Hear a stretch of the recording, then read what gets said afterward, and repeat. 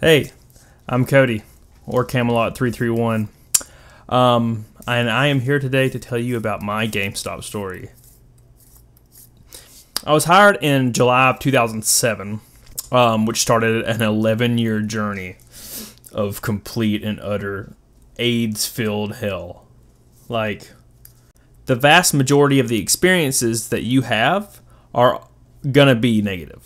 You know, whether it be your superior, whether it be your customer base, um, anything. I mean, it's uh, it's it's quite terrible.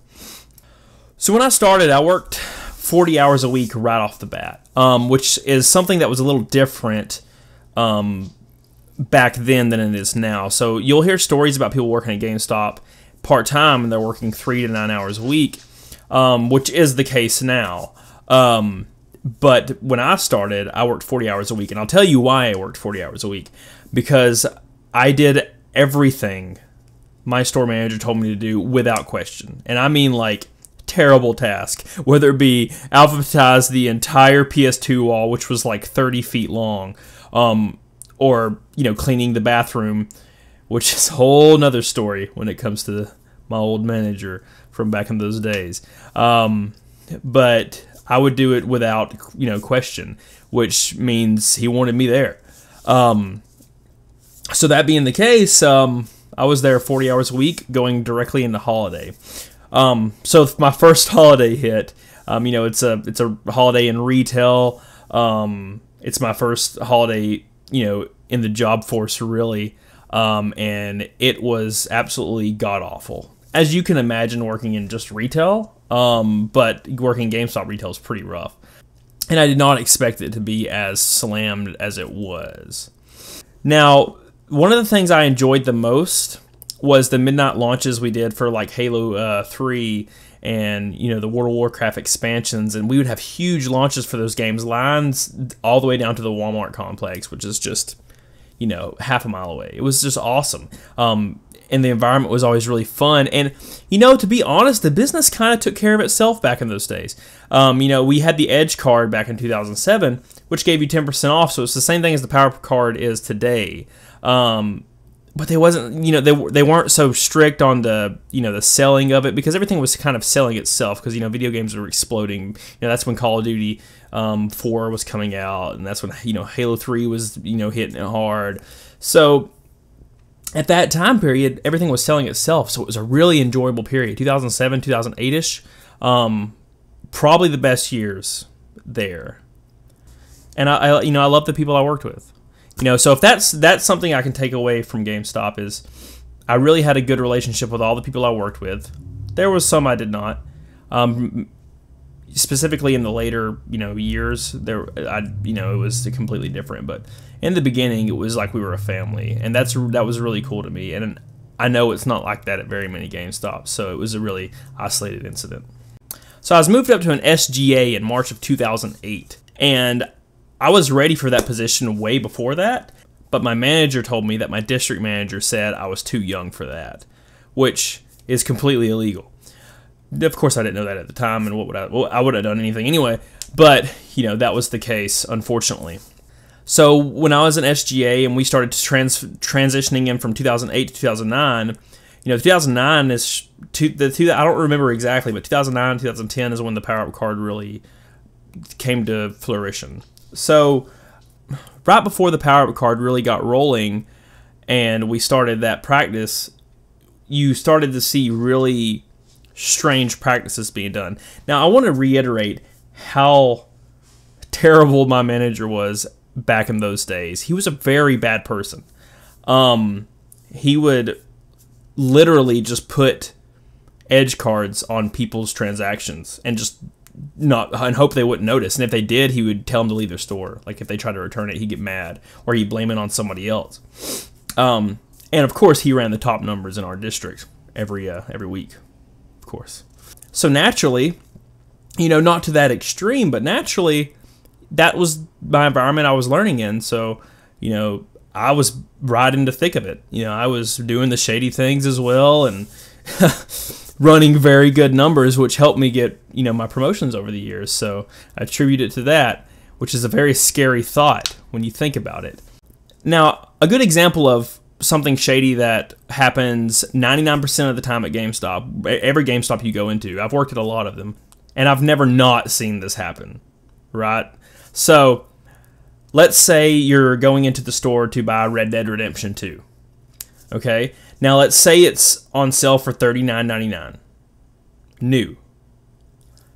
Now, keep in mind, this is new, which the power up card has no effect on other than points. Um, I don't know an employee that wasn't pushing, you know, the circle of life that wouldn't say, hey, if you get this power up card, this will actually only be 39 and then you can pay the difference of the power up card and you'll save $5 off of the retail price. You get what I'm saying? So they were saying it was $5 less than $59.99, but the game was already on sale for $39.99. So they were lying to them to get a power up card. And I saw that happen five times a day, every day, no matter what store I was in. Right? So that's terrifying. Another good example of shady practices is reservations. So I've seen people go into the reservation list and see that a customer had a game that he you know maybe didn't pick up or wasn't ring out through the system that had was had sixty dollars on it. So they would cancel that reserve, either pocket the money from the refund, or they would add 10 reserves onto a transaction so their numbers for that day would be outrageous through the roof. Um, that happened every day no matter what gamestop you go into. Now these associates have to do this. This is what the higher management pushes. This is the environment they create. You have to fall in line or you lose your job. It's as simple as that. I can name off shady practices for for days and days and days. But uh, you know, I think you get the idea, and I'm sure you've heard multiple stories from other sources of the shady practices they do. So, so I was moved up to an ASM in 2010, um, where I had to transfer to a store about an hour away, and it was a new store that was opening up. So that was a really exciting opportunity for me. Unfortunately, it came to my attention that my manager had called the district manager and told him I was not ready to move up. Obviously, because he wanted me to stay and do everything, because that's how I was. I did everything for him. So he told the district manager that I was not ready to move up.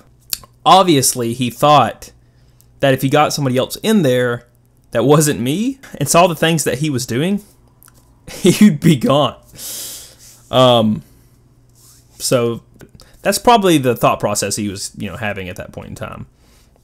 And obviously, from that experience, you can see how bad of a person my manager was. Now, I'm going to have another video, a separate video on specifically him, just talking about the crazy things that happened because it, it would be an hour long and I think you'd really enjoy it. So I'll do that as well.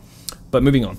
So I called our district manager and was furious that my manager had called and I was like, "Hey, I'm ready for this. You know, I want to do this, you know, cuz at the time I was gung ho. I wanted to move up. I wanted to do things, you know. I was excited. I was driven." Um, and he was all about it as well. So I ended up transferring to that store. Um, I drove back and forth, you know, an hour, which was pretty terrible. Um, but it was a really fun experience. I, I, enjoyed opening that store. I enjoyed the people I met. Um, a very eccentric man I hired actually became the store manager a few years later. Um, another separate video. Guy's insane. I mean, absolutely insane. But another video, another video. So, um, 2012 came. I transferred back to my home store, where my hometown was, um, and I became the store manager. So this is 2012, and uh, this is when it started. You know, I was I was on top of the world, right? I was a store manager. You know, people that worked for me were my friends. We had great midnight launches. Everything was going great, and my store was ranking in the top 100, usually the top 10 in the entire country every single week, which was huge because that never happened in our district. The store I'd taken over never even ranked in the top 4,000, and I was ranking 97. Four, second, third, which was awesome to me. That's when I figured out that what you did the day before, the week before, the month before, the year before never mattered. We were on conference calls. My district manager never even would acknowledge that I was second or third in the company. He would acknowledge people that were like 900 and 1200 in the company, and I would be sitting there in third. He would never say anything, which was insane to me. You know, you want positive reinforcement, right? I mean, that's that's a good way to manage. It's a good way to lead. So that was kind of the beginning of the end, because I always strive to perform, um, and we performed honest. We didn't, you know, commit shady practices like I did when I was under my other manager. You know, we were honest. We were just talked about games and we had fun doing it, and people came in to see us, and we had loyal, dedicated customers. So I mean, they were violent. They would fight for us. You know, they loved our GameStop, and that was uh, a really cool experience. So one time, my regional came in, and he said my store looked terrible because I was missing a few shelf talkers. Um, the top two rows for the most recent reset had two shelf talkers, like on the top two rows, and I didn't have them. Um, I don't remember what happened, if they got lost on shipment or if they, you know, got lost in general. No idea. So he drilled me for about an hour, and my district manager was standing right beside him and looked so furious at me.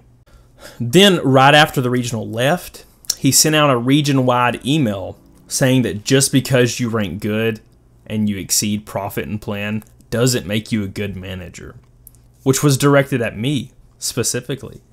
And that that was just the officially the beginning of the end for me because they were pointing out a thing here or there and completely ignoring how successful that our business was. So this is around the time where the company started to switch to complete and utter negative reinforcement. 100% across the board. Never a good job, right? It was always, hey, you guys are number one in all these categories, but you're number four in this category, and we got to fix that, or else you need to find a new place to work which is actually something they actually said. My regional and my district manager had said on several occasions if you can't do this thing we're focusing on this week, then you need to find somewhere else to work. So it was always under a threat of being fired. So this is around the time where the circle of life came in, and I know everybody has heard about that. Um, it literally made us rip off every customer. We had to. Our district manager would actually just say, "Hey, you know, just sell it to them sell it to them. You know, he would, he basically was telling us to just rip off everybody we could, which was a, a, essentially the name of the game anyway at this point. And if you didn't make Circle of Life for two weeks in a row, then you were basically under the threat of termination. They actually had a policy around it. If you did not make Circle of Life for two weeks, regardless of position, if you were a store manager, you didn't make Circle of Life for two weeks personally, then you would be threatened to be terminated. No first and final, terminated. So you can see why the selling environment is the way it is, right? I mean, you can. It basically the circle of life pushed us to be that way, and it still does today. Another thing that happened was the federal government required anybody making less than forty-seven thousand dollars a year to be eligible for overtime. Um, and all of the store managers are on salary at this point. So, what does GameStop do? They make all their store management hourly associates. Now, here's the catch you have to work overtime to get your previous pay that you were getting salary. So, your child was sick or you had an emergency and had to leave, you're not making your salary anymore, right? If you worked 40 hours, you were actually making $80 less than your salary weekly which completely and utterly demotivated every store manager in the company, and I can guarantee that. We went to conference that year, and the atmosphere was so negative. Everyone was so furious at the company, and the company did not care. Every year around March, April, May, um, never a consistent date, it was just random, the store managers would get an annual bonus. Now, our annual bonus was never high, but every year it would get lower. And the company would release a statement saying that they appreciated how hard we worked, but ultimately the performance of the company falls on the shoulders of the store management. So we were directly responsible and either wouldn't get our annual bonus or it'd be a very small fraction of it. There was actually one year where my bonus was $64 for the whole year. GameStop. Power to the players. The last couple of years I was there, I never felt safe. It always felt like I was on the verge of getting fired. Whether it be for you know your bathroom being not clean, your circle of life not being up to scuff, you just having a bad week in sales, you're not beating plan for the year, you're not beating profit for the year. And my DM would come in all the time and just tell me that I just needed to resign. He'd look in the bathroom, the bathroom would be a little dirty, and he'd be like, You just probably should resign. Or we would be struggling in Circle of Life for the first week in two months. We've made seven out of seven weeks, and the eighth week we're struggling. He'd come up to the store, You probably should just resign, buddy. You're just not you're just not in it anymore. You should probably resign. This is about March of 2018.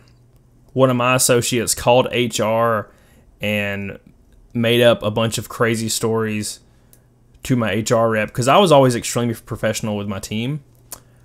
But those same people had gotten managers fired previously, like previous years, just by calling HR and making up stuff. So of course that's what happened. So HR shows up, and um, you know they interview me, and I tell them, of course, none of that's true, whatever. Then they say that they're you know, going to call somebody and see what they can figure out, but, you know, they don't know for sure what's going to happen to me. And at that point, I just, you know, handed my keys over and I was like, look, you know, it's been a long time. You know, I'm just, you know, I'm done with this place. And then I, and I walked out and that was it. 11 years gone. Wasted.